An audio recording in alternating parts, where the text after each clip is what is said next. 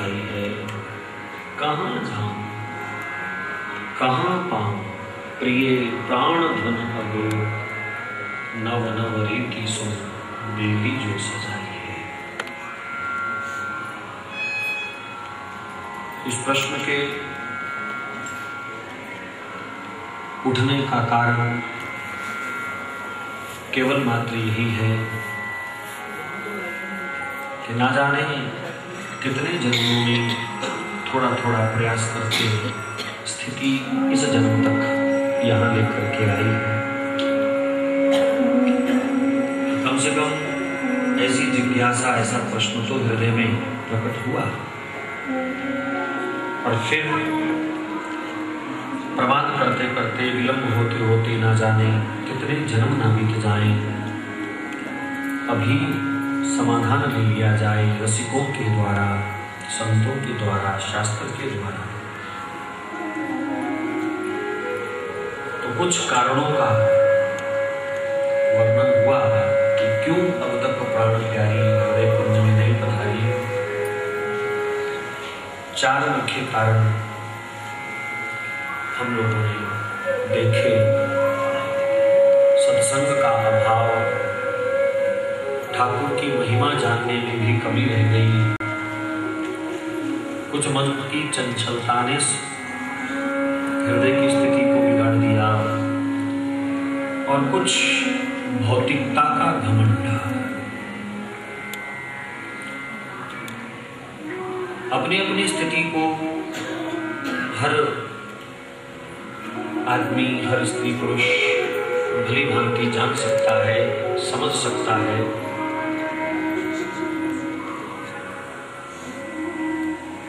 परंतु फिर भी सार्वभौम रूप से, स्वस्थ रूप से अगर और कोई कारण देखा जाए तो मेरी समझ में आ रहा है। मन की रुचियों का गलत जगह हमने नियोजन कर दिया।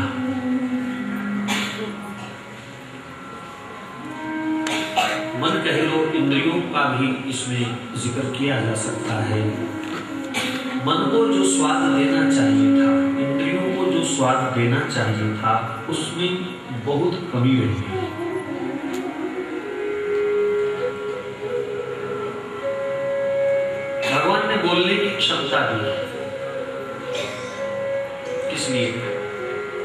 कि ये जीवन सारा दिन वाद विवाद करती रहे अजूल फजूल बोलती रहे जीवा तो हर जानवर के पास भी भगवान ने दी लेकिन ऐसी बोलने की क्षमता उनको नहीं दी जबकि आहार, निद्रा भय बैतुनम सामान्य में पशु भी नारायण अगर पशु और इंसान के बराबर घटना घट रही है, वो भी खा पी करके सो जाते हैं, हम भी खा पी करके सो जाते हैं। वो भी शरीर पाल रहे हैं, हम भी शरीर पाल रहे हैं, वो भी बच्चे पाल रहे हैं, हम भी बच्चे पाल रहे हैं, वो भी हवा ला ले रहे हैं, हम भी हवा लेते हैं, वो भी पानी पीते हैं, हम भी पानी पीते हैं। दुश्मन को देख करके उनको भी डर लगता है, हमको भी डर लगता है। हमने चार ईंटें सीधी सीधी करके, जोड़ करके घर बना लिया।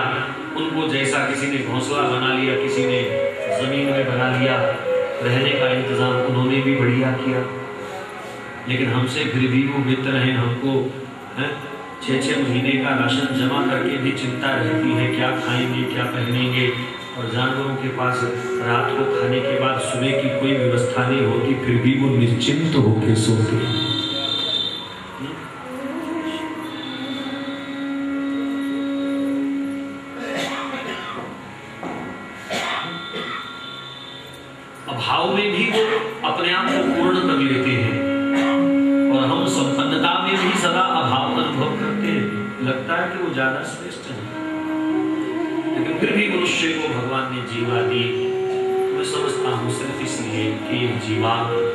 भगवान का गुणानुवाद गाए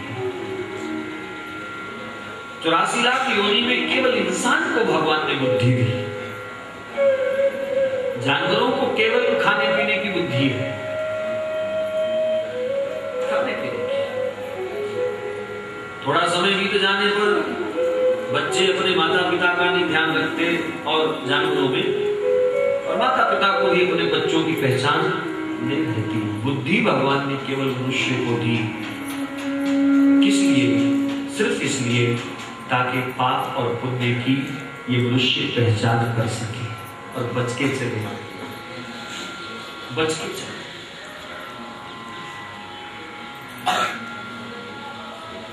लेकिन इंसान ने सारी बुद्धि नोट छापने में लगा दी। और कहीं बुद्धि का प्रयोग किया ही नहीं कभी। गहराई से आत्मचिंतन के लिए क्यों ना सोचा? कभी गहराई से अपनी घटती आयु के विषय में क्यों ना सोचा?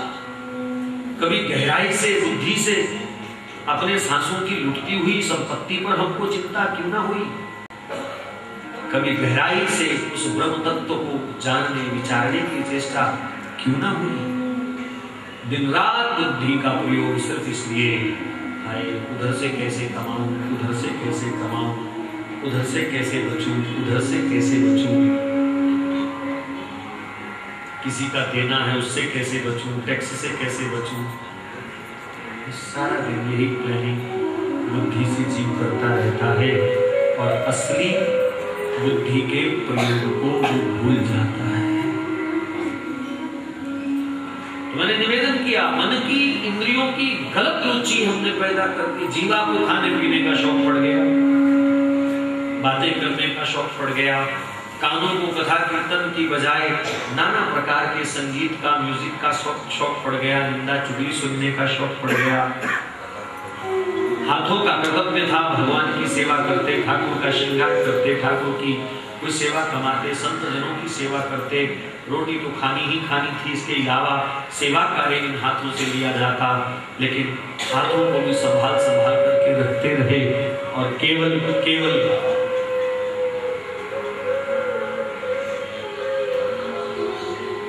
भोजन के लिए, सजने के लिए ही हाथों का प्रयोग हो पाए